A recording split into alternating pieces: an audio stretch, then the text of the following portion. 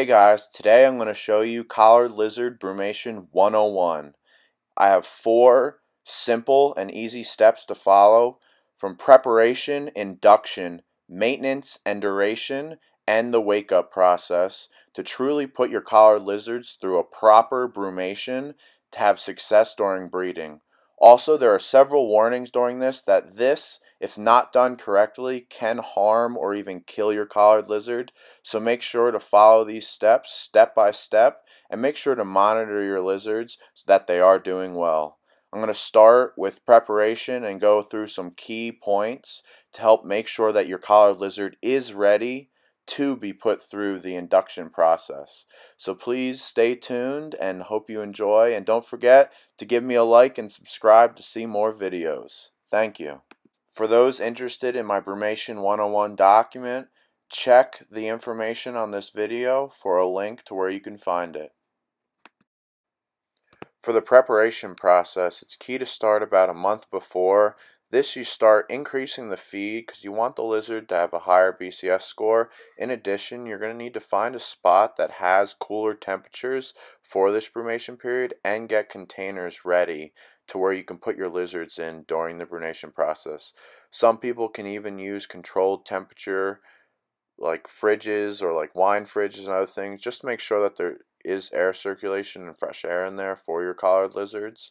Otherwise, if you do have a cooler region in the house, like under the stairs in the basement, just make sure it has a controlled temperature or a temperature monitoring device just to make sure that it falls in the range, ideally between 50 and 55 degrees for the brumation process. Nothing colder and nothing above 65 because both of those spectrums can be harmful for your collared lizards. One important thing for collared lizards before you induce brumation is to make sure you bulk them up to have a higher BCS score or body condition score. Now this is a term that veterinarians like to use to score animals on a range of emaciated all the way up to obese, but this is a good way to tell when your collared lizards are ready to be induced for brumation and can survive the full length and have a healthy outcome. Now as you can see, some ways for collared lizards, you want to look for full thickness in their tails, legs, almost having creases on their backs to where you can truly appreciate good muscle buildup and that they have a good body score so that any nutrients that is drawn during those colder temperatures doesn't really affect them and they can survive the full duration. Now here I have an aquaflame male who has already started to go through the process and he's in induction now.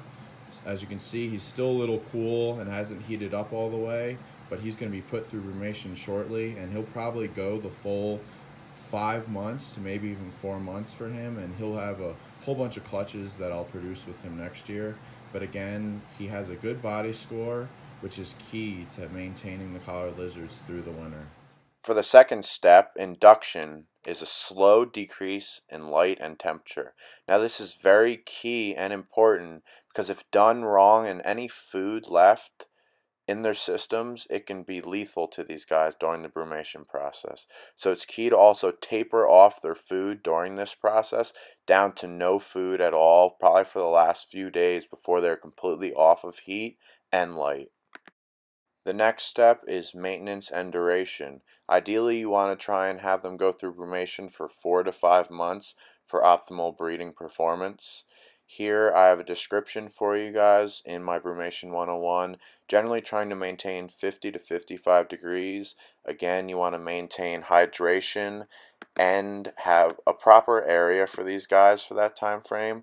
This allows for different hormones to be produced and stimulated once you go through the photo period of taking them out to have the representative sperm and eggs be developed.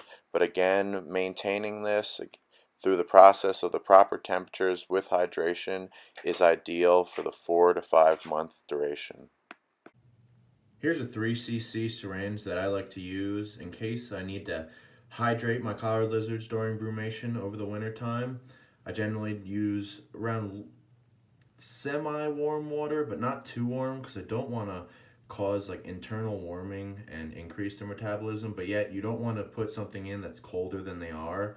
So if you have a way to actually measure the water temperature and put exactly like 55 degree water in your collared lizard's syringe and then give it to them, that would be most optimal and ideal. Again, this just helps hydration. You don't want them to get too dehydrated because even though they are slowing down during, during this period, they do still have some metabolic um, actions, so they will need water, especially for those kidneys, because you don't want anything bad to happen during their renal function during brumation. So again, maintain good hydration. I have the water dishes, but if I don't see that they're drinking, I will syringe water to them. Again, I like using a 3 cc syringe, but a 1 cc is pretty much fine as well. And you can use eyedroppers that you can get at like CVS or any other pharmacy store. But again, these seem to work well. They don't bite through the hard plastic on the end. And glass ones, they're fine. I am afraid in case of glass might break, so they get in their mouth. So I generally stick with the plastic syringes. But again, hydration, very key during brumation. Finally, step four, waking up your collared lizard using a slow increase in light and temperature I generally, because of the room temperatures being around 70, give or take, take them out of whatever cool area they were and sit them in the room temperature for about a day or two to get them acclimated to that. Then put them in their enclosure and let them have one to two more hours of heat of light per day, generally to around 8 to 10 hours and that's when I start feeding them and then for breeding season you want around 12 to 14 hours of daylight to help induce the photoperiods needed to breed. I hope you enjoyed and learned some things from the four steps to properly brumate your collared lizard. Please stay tuned for other videos and check out my other ones including Incubation 101 and some Eastern Collared Lizard locales and colors. As well, please give me a like and a subscribe and you won't regret it as you're going to see some many cool videos to come. Thank you.